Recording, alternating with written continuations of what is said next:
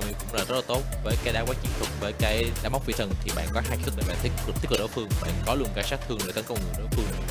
Thì Camille xử lý kèo này tốt thì đến tầm đó là hai trang bị, thì cái đó Camille sẽ thể gọi là alpha Gragas khá là dễ dàng, tại vì tốc độ của Camille nhanh so với là Gragas hơn thêm cái việc là những tình huống mà ăn mạng được đó trong đường gì về sau bắt đầu là Gragas không có sát thương đó nào là Camille để coi Ragat này sẽ là Ragat uh, AP hay là Ragat chống chịu khu vực đường trên thì trong meta này đang có hai cái lối build như vậy dành cho vị tướng Ragat uh, à, rất là kỹ. Wow. Có hộ vệ đến từ lúc mau nha. Đây rồi một tình huống án tử lựa hai sảy. Có luôn cho mình đó chiều cuối đến từ Dolby chủ động tốc biến đến từ lúc mau lượng máu của ta đủ. Và đó điểm cũng đáp trả dành cho bên phía của Linden Sport một pha mà rõ ràng Liên họ có thông tin, họ có sự chuẩn bị và Lưu Mao là con mồi vô cùng ngon còn giữ chân hay là combo gây mắt đam? Bởi vì nếu như mà ta combo giữ chân, đó chính là e đúp thì cái lượng sát thương sẽ bị thiếu hụt. Đây tình huống mà bộ đội đến từ bên phía của W tấn công vào khu vực vùng xanh tạc sang sẽ phải lên mạng số. Phía bên kia thì sang cũng còn thấp năng lượng nhưng ta cũng có khả năng để có thể tiếp cận. Một bước đáp trả dành cho phía của W trong cái tình huống vừa rồi. Bóng boss là một loạt những cái chiêu thức để có thể tấn công đáp trả ngược trở lại. Ui đôi bi tấn công vào viên với cú tốc biến chủ động của mình.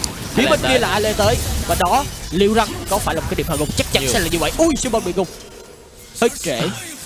Hơi trễ khi mà điện thoại cũng đã thuộc về cho đang tưởng cái chiêu cuối đến từ đó. Một bên phía WWE nó trúng mất người của đường bi cơ kìa.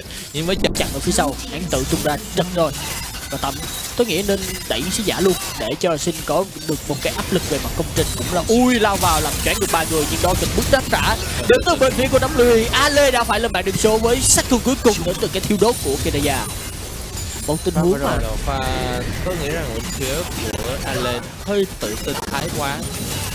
Khổng lồ hóa chưa có, đó là cái vấn đề rất là quan trọng đến từ đương vào. Nếu như khổng lồ hóa có, thì máu cộng thêm và cái lớp giáp đó vào có thể giúp cho tự không sót hay là ta muốn câu giờ thêm để làm cái gì đó tạo ra khoảng trống dành cho những người đồng đội của mình. Khi mà hai trang bị hoặc là hai trang bị rửa ba trang bị đó sẽ là cái bắt đầu đặt ra giả tử ui đó tình huống càng cường lao vào rồi. View giữ được kịch đó của cô có khổng lồ hóa có xương giản thể. Nhưng chưa hất tung được nhiều người. Đó chỉ là một uh, Kenaya mà thôi. Nhưng phía bên kia là sang đang bị cô lập. Anh ta có đồng hồ. Không thể nào chịu được. Sát thương dứt điểm đó chính là lai. Với cú chiêu cuối của lai. View cũng thấp máu rồi. Có thú săn mồi đến từ Dunby cả thời bộ ba đến từ bên phía của W. Họ cũng đã lùi về một tình huống quạt quy tương đối chất lượng dành cho Dunby chuyện sớm ép đánh đến từ bên phía của Linen tối hậu thư. Dễ. Siêu giáng thế chưa cần kích hoạt bởi vì rất nhiều công chế đang được gây ra bởi Dolby một pha tấn công rất dễ dàng dành cho phía của Linen và anh ta còn xung giáng thế đến từ Dolby con rồng đang được triển khai một cách tương đối nhanh chóng dành cho đội hình đến từ bên phía của Linen rồng thuộc về cho bên phía của View nhưng phía bên trong thì Bibiu bị cô lập. Anh ta sẽ làm như thế nào trong tình huống này đây? Ale lao vào nhưng lượng máu của ta thấp siêu giáng thế đang xuống thì hơi trễ một chút xíu. Của bên Bi cố gắng để có thể cầu kéo anh ta kích đồng hồ khoảng trống được tạo ra dành cho Lai để có được cho mình đó cái lượng sát thương quá tốt.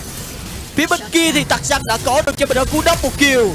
View đáp trả ngược trở lại bằng một tình huống khuấy đảo ở phía bên trong và anh ta đã dứt điểm được cho mình đó Lai và cũng đã có được cho mình cú double kill như vậy là bộ đội của lê cũng nằm hướng tương đối là nhanh chóng. Cùng một đường dưới là tình huống va chạm nhẹ piu piu đang tương đối là thấp. Về lượng máu thùng đủ nổ được tung ra với mục đích là để có thể đào thoát lăn bụng cũng đã giúp cho piu piu chưa chạy được bởi vì ale đang bọc ở phía sau. Rồi.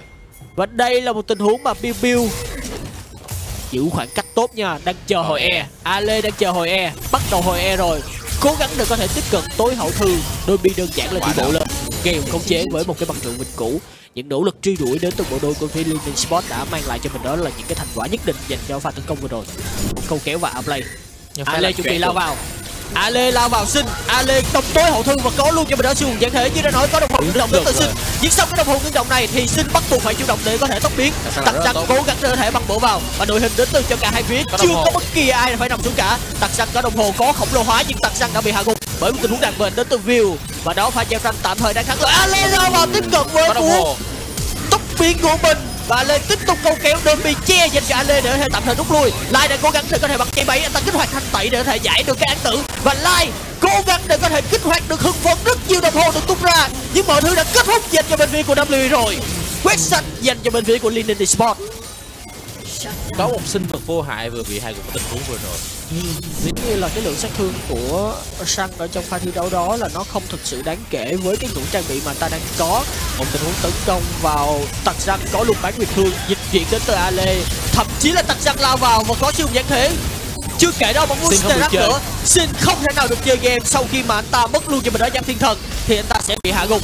Nhiều khả năng sẽ là tình huống quét sạch nữa. Có được giáp thiên thần đến từ Ale trong tình huống này nhưng đội hình đến từ bên phía của W đã tan vỡ đôi bị cầu kéo.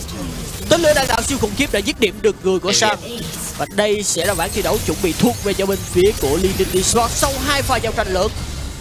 Một pha giao tranh mà lần này thì bạn thấy rằng cái sức sát thương của Hora nó nhiều hơn.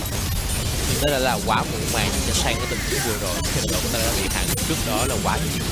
Pha này thì cái sự khác biệt là những món trang bị bảo hiểm được sử dụng hết đến từ bên phía của WE rồi khiến cho họ không còn lợi thế về giáp thiên thần, hay là cái đồng hồ như là đội hình đến từ bên phía của Linin nữa. Và pha giao tranh này là pha giao tranh bất lợi rất là nhiều dành cho bên phía của Linin Sport. Xạ thủ của họ không có phép bổ trợ. Không phép hỗ trợ, không đồng hồ. Bị dính cho mình rồi sát thương từ Camille. Mất